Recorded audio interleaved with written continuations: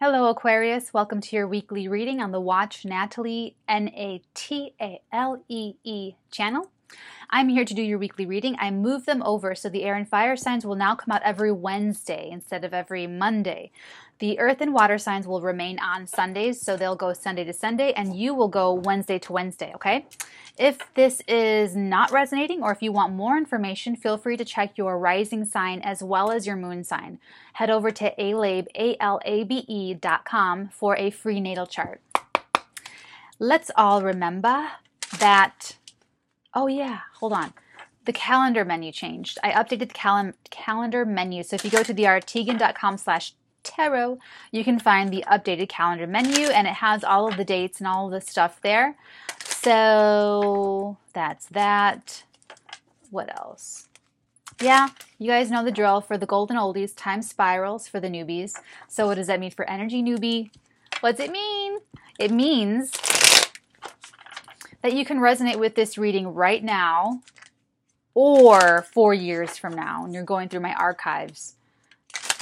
Whenever you're guided to view this video is when you're meant to hear the messages.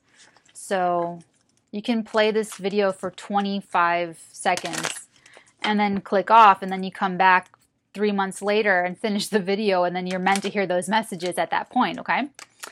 So let's see what Aquariuses have for the week. Aquarius. Okay. What do we have? That was quick. We've got three cards together and one card on the table. We have the Nine of Pentacles, the Seven of Staves, and the Moon. This is interesting. This is an individual who's very independent. Could be you, could be someone else in your zone.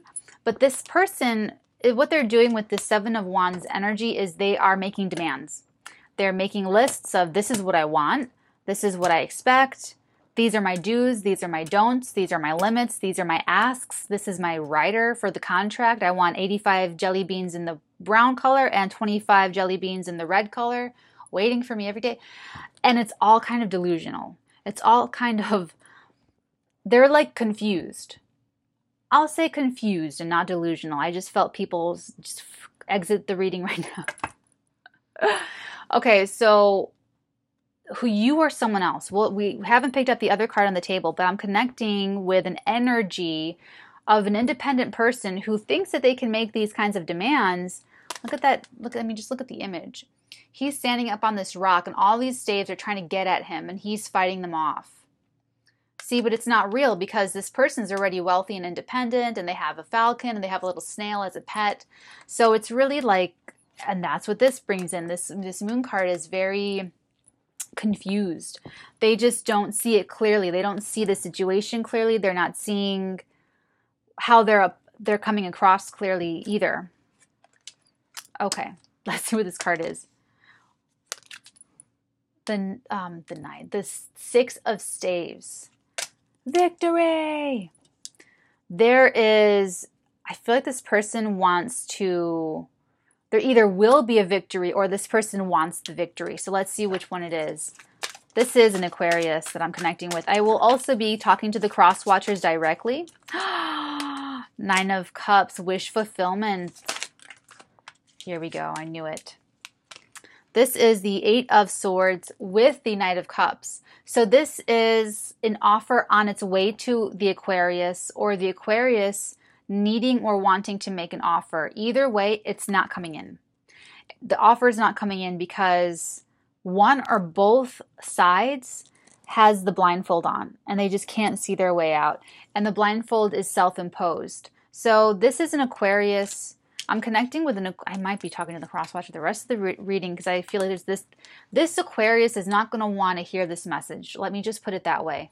So this Aquarius, sorry, my moon's in Aquarius, okay? So it could be, okay, it could be, I'm just saying, let's just all get on the same level here. You could be Aquarius ascendant, Aquarius sun, or Aquarius moon. But this is an independent person who's being defensive or being sort of like demanding, and then they don't think they are. They just don't see how they're being a little bit, and it's like they're being triggered. This is the root of it. So we're not making any judgments. And I know that that's difficult for Aquarian energy because Aquarians love to just like judge, judge, judge, you know, and Capricorn too. So, I mean, I totally get it. I totally, totally get it. And when I just want you to kind of boop, open up a little bit to, to really hear me here. Okay. Please, please. Okay. Moving forward. The root of this is a trigger.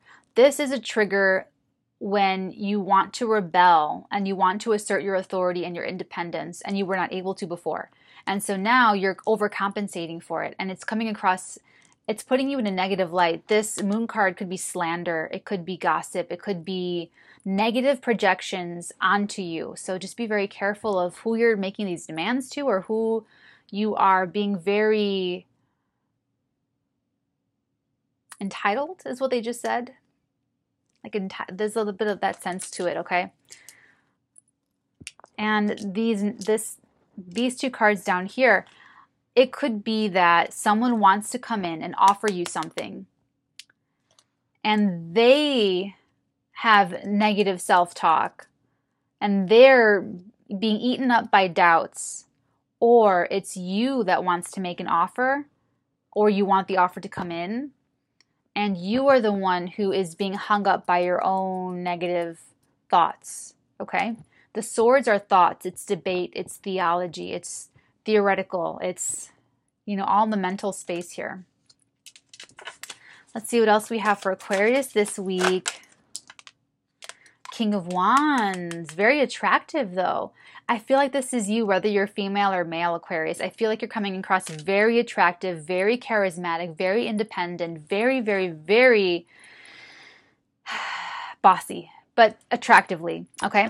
The King of Wands is my guy that wants to come home, sit at the dinner table, and then everyone stops what they're doing to pay attention to him and listen to his day. He's very entertaining, but that's how he wants it to be.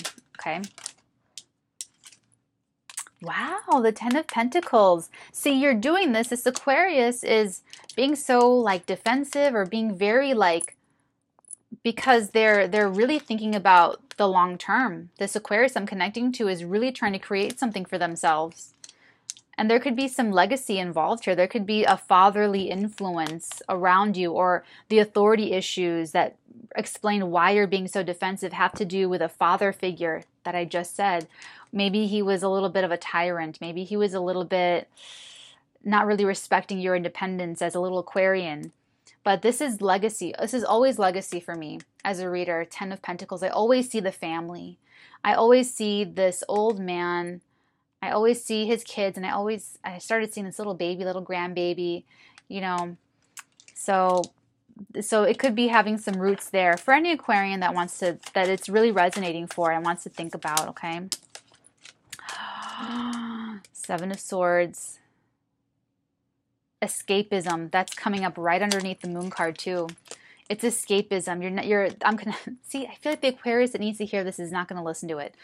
This Aquarius, cross watcher, is escaping this legacy, dealing with this father influence of paternal authority figure residual issues. They thought they dealt with it. They're it's not done yet because they don't even see themselves. They don't even see how they're coming across. They don't even see that they're being a certain way.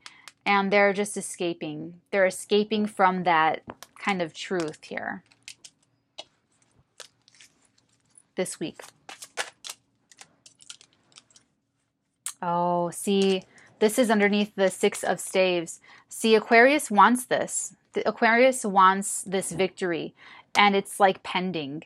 It's just sitting there. It's sitting there. I feel like there is an offer that wants to come through to Aquarius, a very stable and secure offer. And Aquarius wants it too, but it's pending. It's pending because Aquarius is coming across. Let's see what we get with this Nine of Cups card. It was right on the edge there. I'm glad I did it. Ace of Pentacles with the Page of Pentacles. This is completely, it's coming through. Totally. It comes through for you, Aquarius. Right underneath the wish card. Solid. It's a solid offer. It's a solid communication. Solid. Very solid. Oh gosh, real quick. What I just want to know what happens. Okay, Aquarius, what happens this week? Holy moly. The offer is released. It comes through. Look at the chariot on the bottom of the deck. Or sorry, on the bot the last card that came out. Right beneath the Knight of Cups and the swords, the Eight of Swords. The chariot moves it forward. It moves the offer in Aquarius. Okay?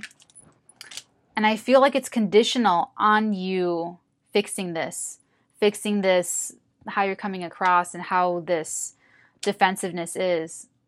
Because what's holding it up is this, um, is your energy. Because everything else looks like it's going. It wants to go. They want it to go. You want it to go. So why isn't it going? Why is it pending? Pending because of this. The very first cards we got out. They're looking at your demands. They're looking at your attitude and they're like, aren't I holding a pentacle?